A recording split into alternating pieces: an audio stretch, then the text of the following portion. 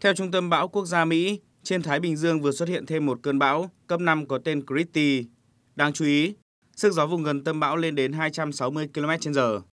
Hôm 24 tháng 10, bão Christy đã mạnh lên thành bão cấp 5, di chuyển về hướng Tây, qua Đông Thái Bình Dương với sức gió duy trì tối đa gần 260 km/h.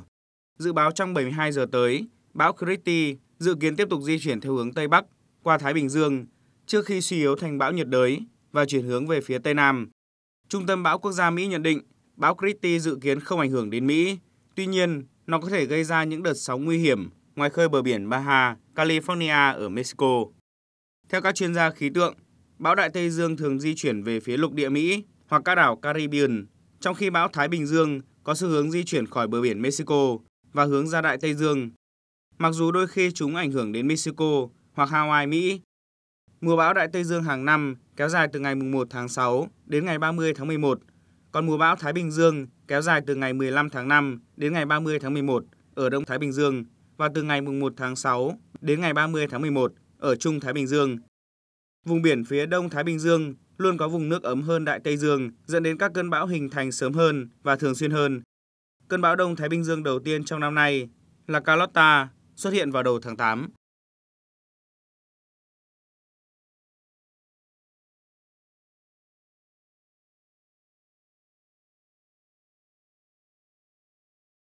Thưa quý vị, theo Trung tâm Dự báo Khí tượng Thủy văn Quốc gia, chiều nay 24 tháng 10, bão Trà My, tức bão số 6 đã đi vào Biển Đông với cường độ cấp 9 đến cấp 10, giật cấp 12. Trong những giờ qua, bão di chuyển nhanh với tốc độ từ 15 đến 20 km một giờ. Các chuyên gia đều nhận định đường đi của bão khá kỳ dị. Theo dự báo, sau khi bão vào Biển Đông trở thành cơn bão số 6, bão Trà My tiếp tục mạnh lên, có thể đạt cấp 11 đến cấp 12, giật cấp 15 khi cách quần đảo Hoàng Sa khoảng 480 km về phía đông đông bắc. Đáng chú ý, các chuyên gia khí tượng đều nhận định đường đi của bão Trà My khá kỳ dị, lắt léo. Bão sẽ đổi hướng liên tục từ hướng Tây sang Tây Bắc và ngược lại khi vào Biển Đông. Đến khi đi qua quần đảo Hoàng Sa, bão di chuyển chậm lại và chuyển sang hướng Tây Tây Nam, sau đó lại có khả năng đổi hướng Nam Tây Nam. Nguyên nhân khiến bão Trà My đổi hướng liên tục như vậy, theo dự báo các chuyên gia, là do có sự tương tác khá phức tạp giữa cơn bão và các hệ thống hoàn lưu xung quanh. Dự báo cơn bão sau khi vào Biển Đông sẽ hướng thẳng vào miền Trung, trọng tâm là Đà Nẵng. Cũng liên quan tới bão số 6, nhiều địa phương hiện đã lên phương án để đối phó với cơn bão này. Để chủ động ứng phó với diễn biến của bão, Bộ trưởng Bộ Nông nghiệp và Phát triển Nông thôn đề nghị các bộ ngành, Chủ tịch Ủy ban Nhân dân các tỉnh, thành phố ven biển từ Quảng Ninh đến Bình Thuận theo dõi chặt chẽ diễn biến của bão, quản lý chặt chẽ các phương tiện ra khơi, tổ chức kiểm đếm, thông báo cho các chủ phương tiện, thuyền trưởng, các tàu, thuyền đang hoạt động trên biển biết vị trí, hướng di chuyển và diễn biến của bão để chủ động phòng tránh, thoát ra hoặc không di chuyển vào khu vực nguy hiểm. Vùng nguy hiểm trong 72 giờ tới từ vị tuyến 15 đến 20 độ vĩ Bắc, phía đông kinh tuyến 115 độ kinh đông. 10 năm kể từ 2014, dịch sởi đã quay lại. Sởi là một loại dịch bệnh cũ, chúng ta đã không chế được nhờ vaccine. Nhiều năm qua, sởi gần như vắng bóng, nếu xuất hiện thì cũng là những ca lẻ tẻ không đáng kể. Nhưng năm nay, sởi đã bùng phát thành dịch ở nhiều địa phương, nghiêm trọng nhất là thành phố Hồ Chí Minh. Nguyên nhân chính khiến sởi trỗi dậy lại đến từ một nghịch lý, đó là tình trạng khan hiếm vaccine tiêm chủng mở rộng kéo dài trong suốt năm 2023. Có thể thấy, sự trỗi dậy của virus sởi cùng vi khuẩn bạch hầu, vi khuẩn ho gà trong năm 2024 đã cho thấy hệ quả rõ ràng của cơn khát vaccine năm 2024. Và đây cũng là một bài học kinh nghiệm trong công tác y tế dự phòng, thực hiện các chính sách y tế. Kết quả khảo sát miễn dịch cộng đồng bệnh sởi do các đơn vị y tế trên địa bàn thành phố cho thấy tỷ lệ có kháng thể phòng bệnh sởi ở trẻ từ 9 tháng tuổi đến dưới 5 tuổi chỉ đạt 86%. Trong khi để có thể bảo vệ cộng đồng trước bệnh sởi, tỷ lệ phải là trên 95%.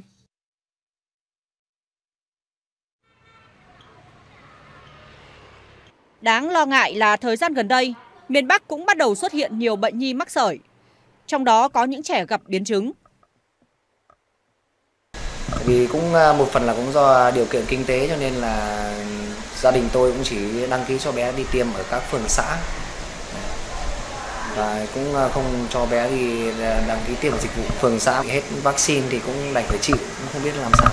Cái nguyên nhân thứ nhất là trong cái giai đoạn đại dịch covid thì có rất nhiều trẻ đã không đến các phòng tiêm chủng để tiêm chủng được. Thì đấy cũng là một lý do quan trọng. Và kể cả sau khi đại dịch Covid kết thúc thì ờ, chúng ta lại gặp phải một vấn đề khó khăn khác đó là không mua được vaccine, không có đầy đủ vaccine để trong chương trình tiêm chủng mở rộng. Thế còn các nguyên nhân kèm theo khác, ví dụ như là có vaccine rồi nhưng vẫn có sự từ chối tiêm chủng trong cộng đồng. Có vaccine rồi vẫn có một số lượng người nhất định chưa tiếp cận được với vaccine. Việc khan hiếm, gián đoạn vaccine trong chương trình tiêm chủng mở rộng là vấn đề mà cử tri nhiều tỉnh thành rất bức xúc.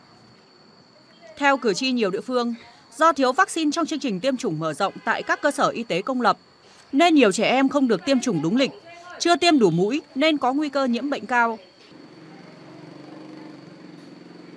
Ờ, khi mà cái ờ, tỷ lệ tiêm chủng của trẻ thấp ấy, thì cái dịch đầu tiên cái dịch bệnh đầu tiên xuất hiện sẽ là sởi bởi vì sởi lây nhanh nhất, lây dễ nhất. Sau sởi thì sẽ xuất hiện các cái dịch bệnh khác nếu mà chúng ta không tích cực tiêm bù lại các mũi vaccine còn thiếu. Cho nên cái việc xuất hiện dịch sởi là điều mà đã dự kiến được từ trước. Ban dân nguyện đề nghị đoàn đại biểu Quốc hội các địa phương thông tin về tình trạng cung ứng vaccine tại địa phương. Theo báo cáo, tại nhiều địa phương, tình trạng thiếu vaccine trong chương trình tiêm chủng mở rộng đã diễn ra từ cuối năm 2022. Đến thời điểm tháng 9 năm 2024 vẫn xảy ra tình trạng này. Ban dân nguyện kiến nghị Bộ Y tế có giải pháp quyết liệt, đảm bảo cung ứng đầy đủ, kịp thời vaccine trong chương trình tiêm chủng mở rộng. Đồng thời xem xét trách nhiệm trong việc để xảy ra tình trạng thiếu vaccine trong thời gian qua. Đánh giá tình hình dịch sởi, bạch hầu và ho gà tại một số tỉnh thành phố và mối liên quan đối với tình trạng thiếu vaccine ở các địa phương. Và chúng ta biết là mỗi một năm ờ, số lượng trẻ sinh ra nó vào đâu đấy khoảng độ 1 triệu rưỡi đến 1 triệu 6 uh, ờ, em bé. Vậy thì một độ tuổi chính là khoảng 1 triệu rưỡi đến 1 triệu 6 trường hợp mà chưa có miễn dịch ở trong cộng đồng. Vậy thì cái việc mà thiếu hụt vaccine chắc chắn là một trong những cái uh, nguyên nhân có thể nói là nguyên nhân nền tảng, nguyên nhân cốt lõi dẫn đến cái chuyện là chúng ta không đủ vaccine và dẫn đến sự thiếu nhất định của các cái trường hợp không được bảo vệ cho cộng đồng. Dịch sởi năm 2024 chính là lời cảnh báo về lỗ thủng tiêm chủng, về khoảng trống miễn dịch trong cộng đồng. Đây cũng là một bài học cho công tác y tế dự phòng về sự chậm trễ, lúng túng trong các chính sách y tế. Nhất là khi khẩu hiệu phòng bệnh hơn chữa bệnh không được thực sự quan tâm, chú trọng. Thông tin từ Bộ Tư lệnh Thủ đô Hà Nội, dạng sáng 24 tháng 10, Ban Chỉ huy Quân sự quận Long Biên đã phối hợp cùng hai đơn vị thuộc Bộ Tư lệnh Thủ đô Hà Nội là Phòng Công binh và Tiểu đoàn Công binh 544 tiến hành trục vớt và di rời quả bom nặng hơn 1,3 tấn có số hiệu M118 tới vị trí an toàn. Qua kiểm tra của cơ quan chức năng, quả bom M118 nặng khoảng 1.362 kg, chiều dài 210 cm, đường kính 56 cm. Với mức độ nguy hiểm được đánh giá là mất an toàn cao, Ban Chỉ huy Quân sự quận Long Biên đã báo cáo với cơ quan cấp trên triển khai các biện pháp đảm bảo an toàn và tổ chức di rời theo đúng kế hoạch. Trước đó khoảng 17 giờ 30 phút ngày 21 tháng 10, người dân làm nghề trài lưới phát hiện một quả bom nằm cách trụ sở cầu số 9 của Long Biên về phía hạ lưu khoảng 200 mét. Ngay sau khi nhận được tin báo, Ban Chỉ huy Quân sự quận Long Biên đã tiến hành các biện pháp di rời quả bom vào gần bờ, đồng thời huy động lực lượng dân quân phường Ngọc Lâm và Bồ Đề tổ chức canh gác, bảo đảm an toàn hiện trường. Vào ngày 10 tháng 10, Ban Chỉ huy Quân sự quận Long Biên cũng đã phối hợp với Phòng Công binh Tiểu đoàn Công binh 544 và binh chủng công binh tiến hành trục vớt, di rời và xử lý an toàn một quả bom cùng loại.